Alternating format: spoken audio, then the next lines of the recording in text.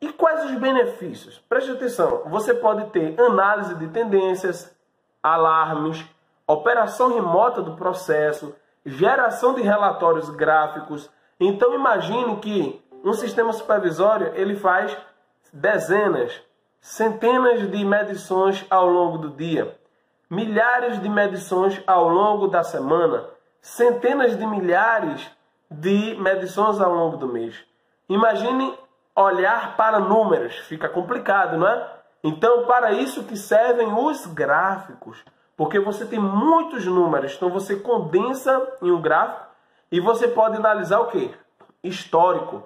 Você pode analisar olhando para trás histórico e olhando para frente, né, tendo fazendo o quê? Uma previsão, uma tendência. Então você sabe se aquele equipamento vai falhar, se aquele equipamento estatisticamente, né, a gente tem que dizer assim, estatisticamente ele vai falhar ou não, de acordo com o comportamento de um equipamento que está funcionando em perfeitas condições. Então você tem como comparar. Então você tem geração de relatórios, gráficos, aumentar a disponibilidade da planta, você pode gerar é, é, gráficos e relatórios de receitas. Então, se você quiser saber quanto a planta, de acordo com aquelas condições de operação, ela vai produzir, enfim, você pode operar de forma remota o processo.